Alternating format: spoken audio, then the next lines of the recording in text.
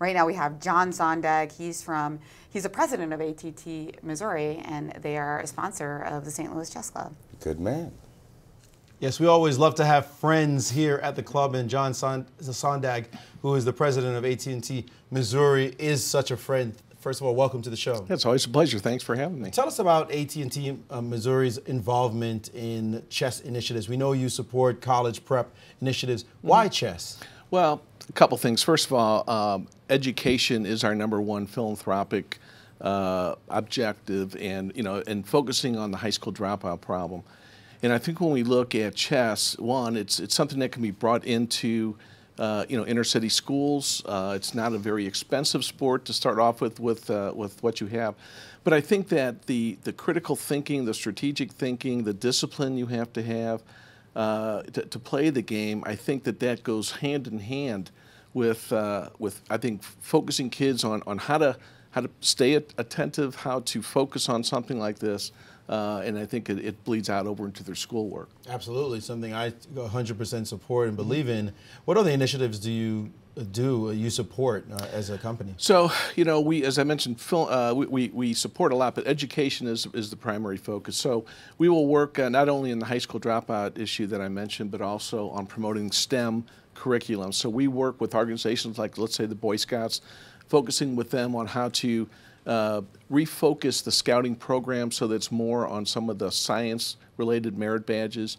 Uh, so we'll get involved in to try to uh, in integrate those programs along with camping.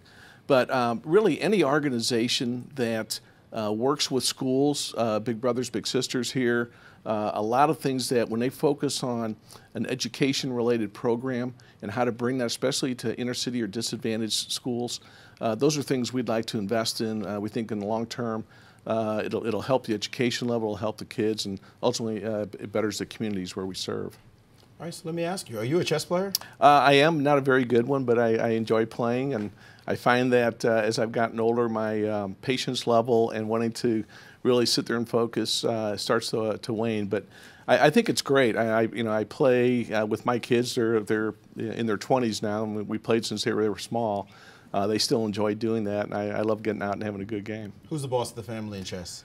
I'd have to say probably my son, who 27 year old. He's a uh, engineer, and he's grown up. He's he's got the smarts and the maneuvers, and he's got the patience now that sometimes I don't. I want to try to try to go for the win quickly, and you know that's not the smart way to do it. Have you ever played Rex?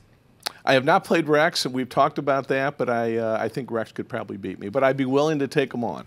Rex will make an illegal move and you'll win the game on the technicality. Don't worry about there it. There you go. I can count on that too. All counts the same. Well, thanks so much for joining us. We appreciate all the initiatives that your company does. We, we appreciate all the friendship that you, you provide and support for the kids in chess. Well, great. It's a, it's a great endeavor, and we're, we're happy to support it. John Sondag, president of AT&T Missouri, one of the many companies that are supporting chess initiatives here in St. Louis.